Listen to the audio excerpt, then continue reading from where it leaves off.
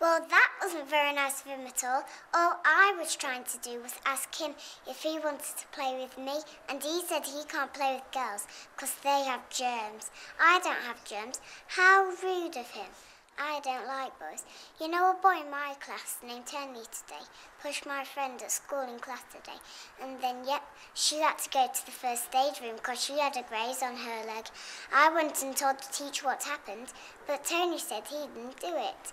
But he did do it. I saw him do it. He was just lying. Boys always lie. They're rude, they're mean, and they lie. I saw my older sister today kissing a boy. It was gross. She said when I'm older I might kiss a boy, but I told her that was yuck, because I don't like boys. I don't like them at all.